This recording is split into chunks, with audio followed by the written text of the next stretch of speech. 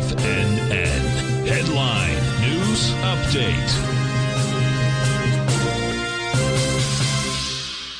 Okay, good afternoon, folks. Larry Pesavento with the mid afternoon update. Uh, we've got everything almost green. There's only a few things that are red, mainly the gold and the treasury bonds.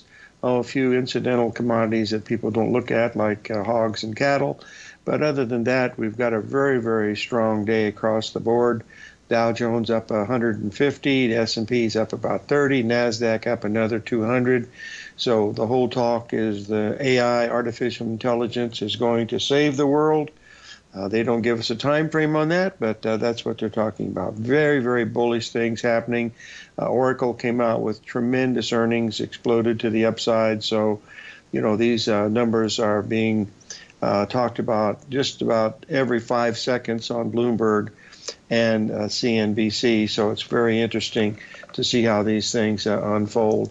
Frankly, folks, I haven't seen this is nothing like what happened. Hold on one second. This is nothing like what happened during the dot com bubble, folks. In the dot com bubble, if one of the companies had a sales uh, on the sales force, the phone would ring even before anybody answered it. The stock would jump 10 percent. That's how crazy. This is not that kind of a market, folks. This is just a very broad-based rally that uh, uh, breaking out above that Fibonacci number at 43, uh, 30 uh, certainly uh, exposed uh, more strength coming in the market. I'm going to be talking about that more at length when we come to our show today.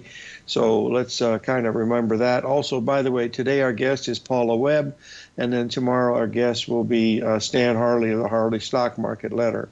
And he's got some really interesting timing dates coming up here. But uh, this uh, market that you're seeing right now is indicative of a blow off type market. I know you might find that hard to believe, but after looking at these charts for so many years, it's got all the earmarks of a market that is just bringing in everybody in at the wrong time. And you know what, folks? If you're not already long, you're not in at the wrong time. You're just out. so it's going to be interesting for sure. We're having great volatilities. In fact, the volatility is holding up okay above uh, 14 today, and that's after another 150 point move in the Dow. So we're going to take a few break. Take a break here. We'll you right back with uh, more of Trade What You See. And so we'll be right back.